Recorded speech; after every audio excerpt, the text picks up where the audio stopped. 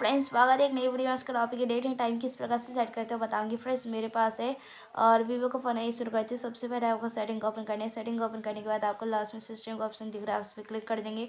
और इसके बाद आपको डेट एंड टाइम पे क्लिक करना है, तब आपको यहाँ एक शो होता है डेट एंड टाइम एंड अगर ये यूज़ नेटवर्क पर टाइम ऑन है तो आप डेट एंड टाइम पर क्लिक नहीं कर पाएँगे। अगर ये ऑफ़ है, इस तरीके से डेट एंड टाइम सेट कर सकते हैं यहाँ से। डेट सेट करेंगे, इधर से मंथ और ईयर सेट किया जाता है, देख सकते हैं मंथ और ईयर दोनों एक साथ इस प्रकार से डेट सेट किया जाता है, देख सकते हैं।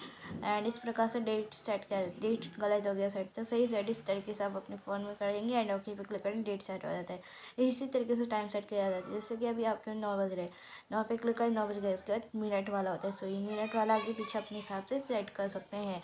एंड इस तरीके से यहाँ से टाइम सेट किया जाता है। ए एम और पी एम इस तरीके से सेट किया जाता है। ए एम पे क्लिक करेंगे ए एम और पी एम पे क्लिक करेंगे पी एम एंड अगर आपको लगता है कि ये गलत है, जैसे कि मैंने कर दी गलत इस तरीके से और इस तरीके से मैं गलत कर दी टाइम एंड अगर इस पर क्लिक करती यूज़ नेट पर टाइम पर तो फ्रेंड्स आपका ऑटोमेटिक सही टाइम सेट हो जाता है, और डेट भी.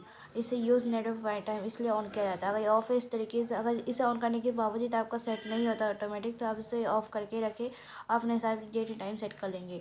पर use network by time on करने से आपका ऑटोमेटिक सेट हो जाता है and use network provide time zone इस प्रकार से ऑन कर लेंगे. नेटवर्क इंटरनेट टाइम जोन होना चाहिए मतलब इंडिया टाइम जोन है और चौबीस आवर तो ऑफ़ करके रखना चाहिए ताकि सही डेटा टाइम सेट रहे। एंड इस तरीके से आप अपने फ़ोन में डेटा टाइम सेट कर सकते हैं। फ्रेंड्स प्लीज़ मेरी वीडियो को लाइक कर चैनल को सब्सक्राइब करो। फ्रेंड्स तब तक के नमस्कार।